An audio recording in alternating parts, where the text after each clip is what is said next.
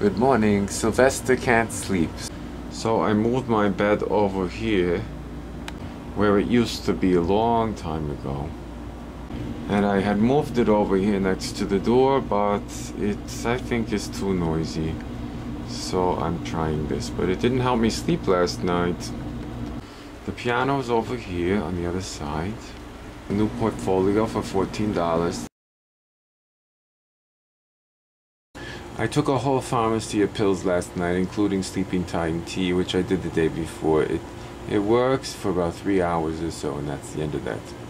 I even washed my clothes last night. I don't remember what time, it was late. If I lived somewhere pretty like that, I would sleep.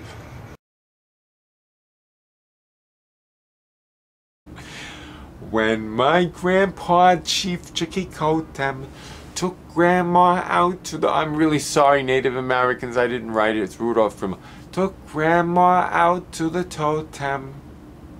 Totem tom tom. Totem tom tom.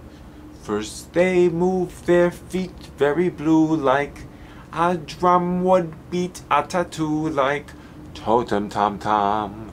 Totem tom tom and pretty soon each engine was singeing and belched with the fire water gingin and faster and faster around the totem pole they flew. But later on all tired and sleepy they go back home to their teepee.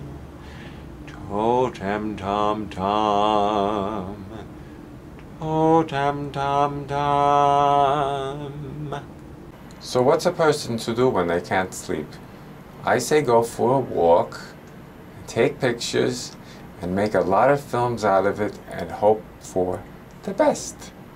First they move their feet very... Oh, can't be right. When my grandpa Chief Chucky... oh, I'll do it again anyway. Oh, when my grandpa Chief Chicky Coat Tam. I know that's not right. Song again. When my grandma Chief Chicky Coat Tam. no, it's grand.